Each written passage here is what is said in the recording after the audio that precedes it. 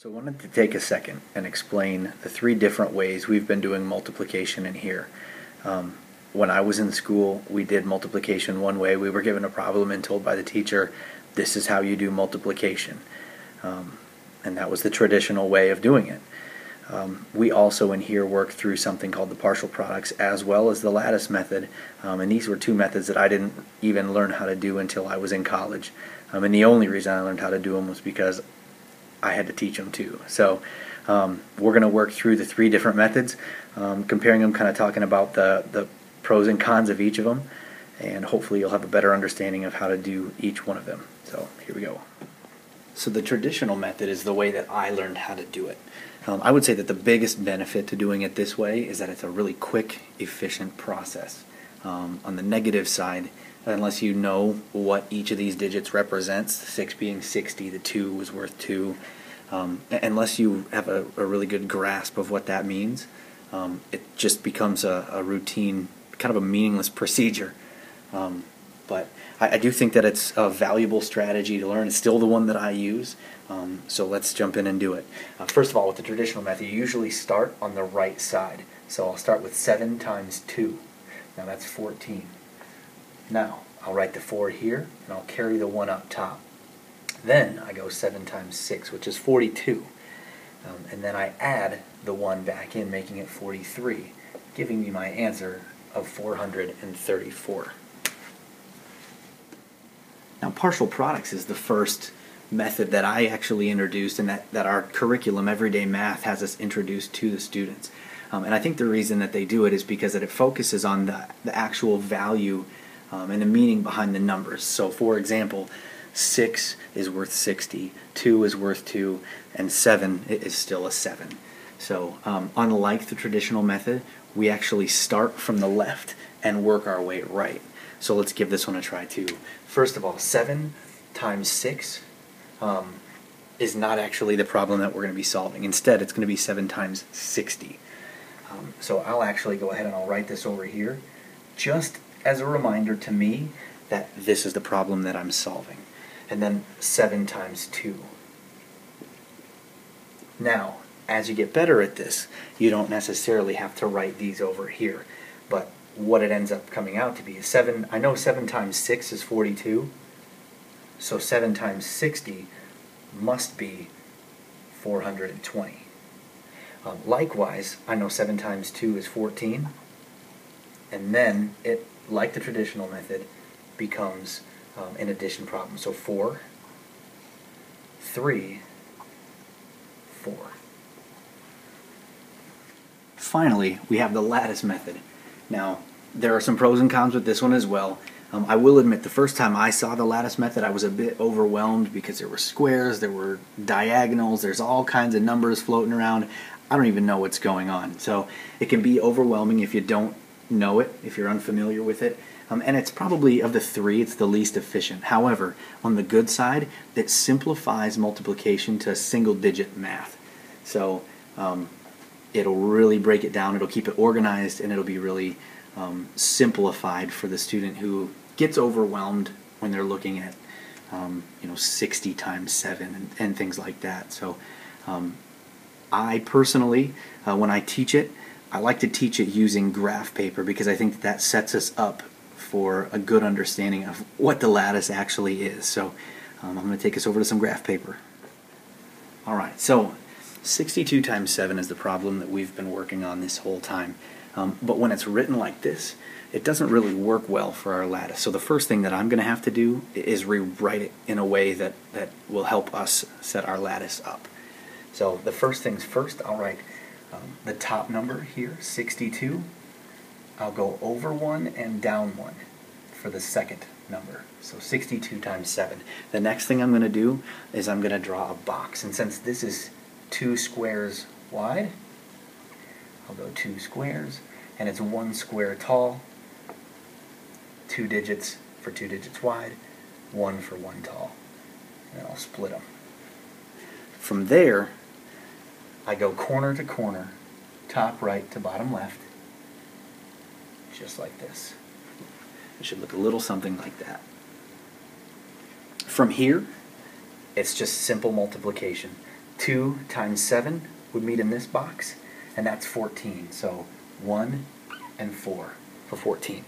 Here, it's 6 times 7 in this box. It's where they meet. So that's 42. 4 in the tens place, 2 in the ones. Now, from this point, we start adding. Um, and we can actually forget about these outside numbers if we need to. But we'll start at the right, and we'll go 4. And we're adding like this. Um, then we go to the middle section between these two diagonal lines. It's 1 plus 2, which is 3. And then on the outside is 4. And there's your answer, 434. Now, fourth graders are also required to learn two digit by two digit multiplication as well. So, I would like to actually go through what this looks like um, in addition to what we've already covered so far. So, back to the traditional method, we have 23 times 45. Now, traditional method again starts from the right, and we'll do 5 times 3, and that's 15. Carry the 1. 5 times 2 is 10. Add the 1, that's 11. Now, with the traditional algorithm, they have you adding a zero. I've heard it, I've seen it taught as a zero or even an x, and that's just fine. Then we take 4 times 3, and that's 12. Carry the 1, which it's already there. 4 times 2 is 8. Add the 1 is 9. Then again, it becomes an addition problem. 5 plus 0 is 5. 1 plus 2 is 3. 9 plus 1 is 10. Now for our partial products, it's similar, uh, but it's different in that it's going to start from the left and, and work its way right. So what I prefer to do is I prefer to list out my problems again until I get the hang of it. And I know that this is actually 5 times 20. And the reason that it's 20 again, because this is the tens place and this is the ones place. Then we have 5 times 3. Next we have 4, but it's not really 4, it's 40. We'll do 40 times 20. And we have 4, or 40 rather, times 3.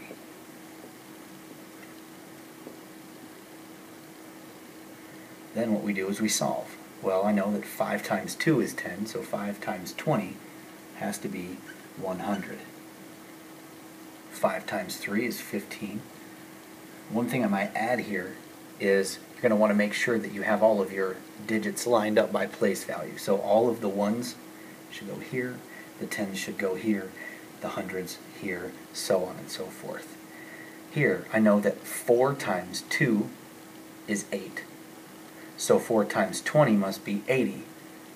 40 times 20 would be 800. And then lastly, 40 times 3. Well, 4 times 3 is 12. So 40 times 3 is 120. Now there are also shortcuts that you can take by adding the zeros, and I'll show you what that looks like now too, just so that you know I have shown the students this as well. I see one zero in this column, or in this first problem rather. I add the zero, 5 times 2 is 10. Here, it's 5 times 3, 15. I see two zeros, 1 in 40, 1 in 20. So I will add them in, and then 4 times 2 is 8. And then lastly, I see one zero there. 4 times 3 is 12.